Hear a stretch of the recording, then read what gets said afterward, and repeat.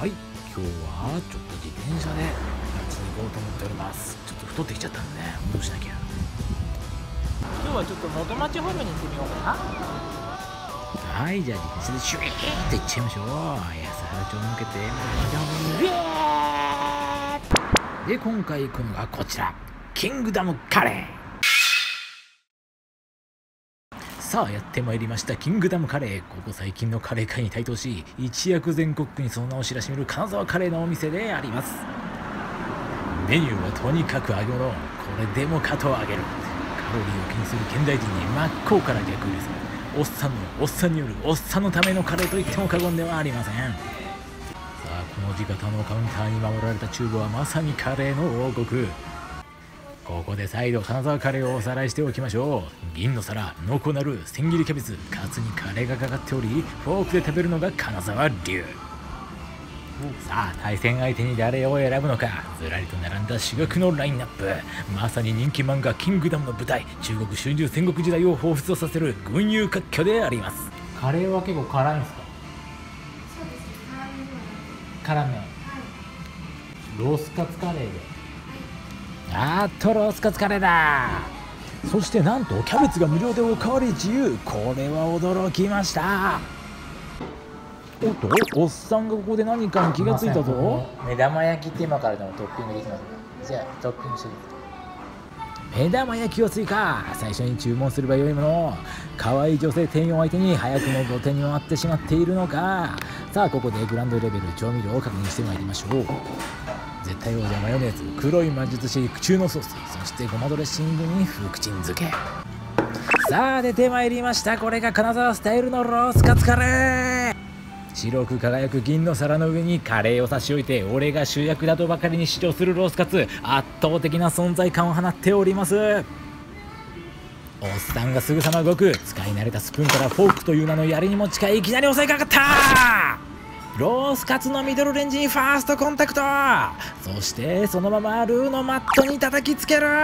いきなりの荒技おっと次にこれは目玉焼きに行った。これは油断していました。後から追加に出されたオプション。完全に意表をつかれました。おっとそしてこれは黄身をカツにつけた。なんと大技ソースとカレーのついたカツに黄身をすりつける。これはたまりません。そしてそのままおっさんの口の中へ運ぶ。さあ序盤からペースをつかんだおっさん。このまま一気に計算通りの食事展開となってしまうのでしょうか。さあライスだ。ライスとカレーをフォークですくうという独特の食事方法。この辺りさすが百戦錬磨のおっさん。まずはセオリーを抑えてまいりました。おっとどうした？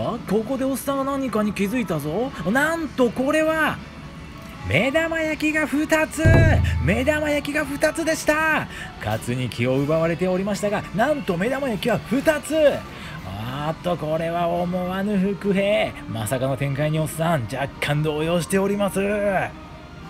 ここは一旦おっさん自分のペースを取り戻すべくキャベツに取り掛かろうとしております。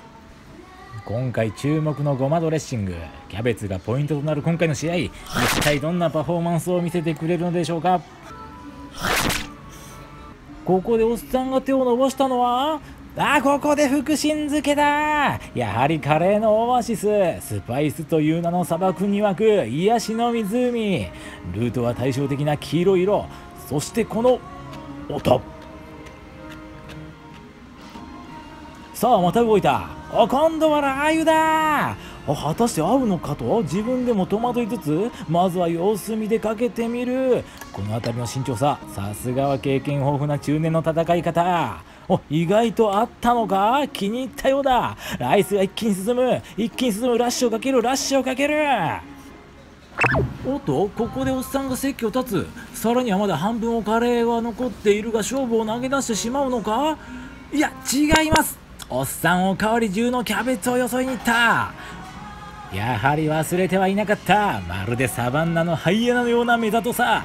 無料のキャベツを補給。ただと名の付くものであれば何でも飛びつくという浅ましい根性をみじんも隠さずこれでもかと言わんばかりに盛り付ける。さらに横たわる。サウザンドカットまさにグリーンモンスターキャベツ。その姿はまるで晩秋の安曇の初冠雪を迎えた北アルプスのようだ。